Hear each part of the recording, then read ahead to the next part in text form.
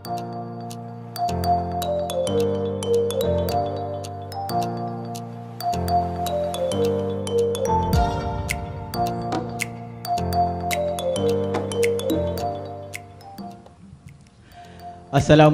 warahmatullahi wabarakatuh dan salam sejahtera.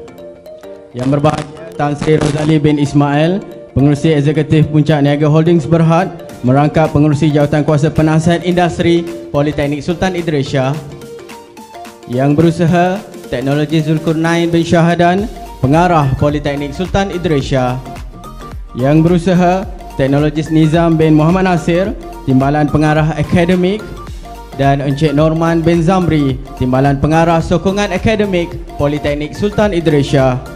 Ahli-ahli jawatan kuasa penasihat Politeknik Sultan Idris Shah, pengarah-pengarah dan wakil-wakil pengarah Politeknik dan Kolej Komuniti Kementerian Pengajian Tinggi.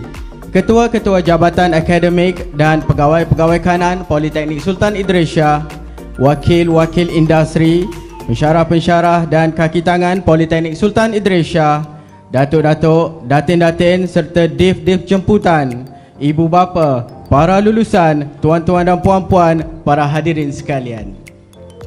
Lafaz syukur dipanjatkan kepadanya dengan limpahan rahmat dan ketentuannya kita bersama-sama berkumpul di Dewan Serba Indah ini bagi meraihkan majlis yang penuh bersejarah.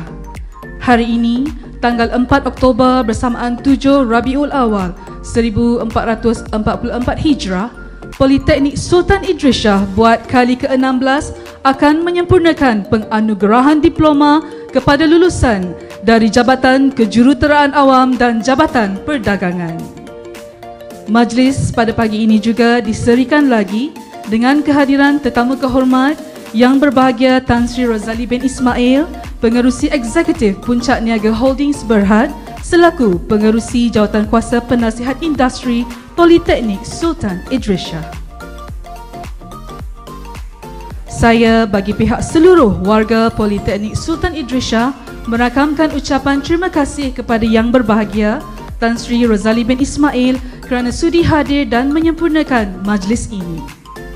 Terima kasih juga diucapkan kepada para hadirin sekalian yang sudi melapangkan masa untuk bersama-sama kami pada majlis ini.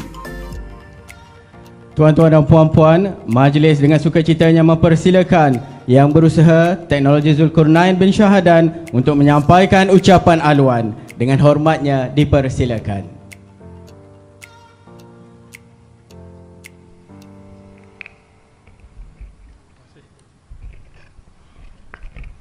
Terima kasih uh, saudara dan saudari pengajar majlis.